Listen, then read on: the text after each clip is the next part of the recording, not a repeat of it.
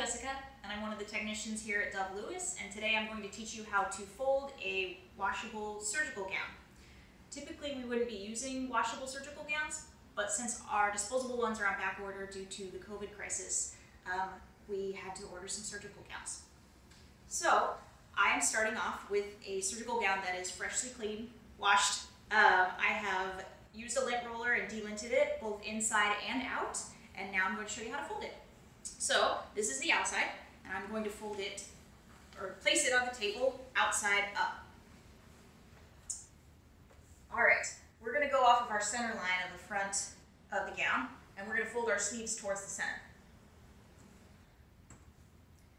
And now we will take the sides of our gown and fold them in towards the center as well. You can use your armhole, the bottom of your armhole, to kind of give you an idea of where the side of your gown is. Ours don't have side seams, so this is a little bit helpful for folding it in half. Like so. Okay, so now that it is folded towards the center, I'm going to tuck our neck tie straps inside, like so. And then we're going to fold the sides in towards the center in thirds. So we're going to start with this first one, this one, and then fold it one more time towards the center, and this side towards the center, and now you're going to fold it in half on top of itself. All right, now we have our neck and armholes folded in towards the center, and this is going to be the top of our um, accordion that we're going to do because this is what the doctor will grab when they go to unfold it. We're going to accordion. Little tip, if you make it so that it's not sticking completely up here, but folded down a little bit at the top, it'll kind of pop up so you can grab the armhole when it's done.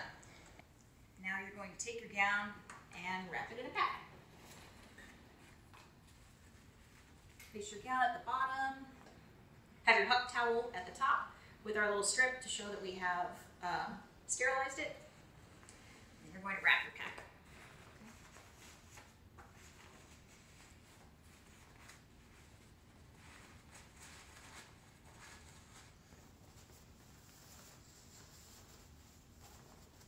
And now we have our sterilizer tape and the stripes on this will turn black when it's been sterilized.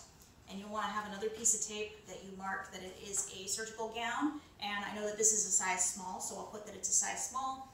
Who wrapped it, so my initials and the date that it's been sterilized.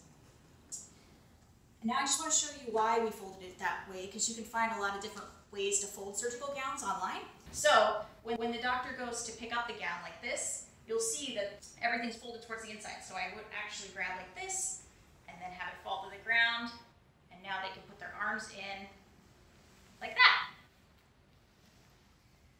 And that is folding surgical gowns. And I hope that helps you and stay safe.